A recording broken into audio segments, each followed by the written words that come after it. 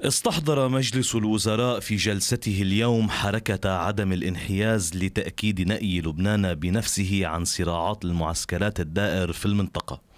نشأت حركة عدم الانحياز بعيد الحرب العالمية الثانية عام 45 وكانت نتيجة مباشرة للحرب الباردة التي تصاعدت بين المعسكر الغربي المتمثل في الولايات المتحدة الأمريكية وحلف الناتو عموما والمعسكر الشرقي وعلى رأسه الاتحاد السوفيتي ومن ورائه حلف وارسو.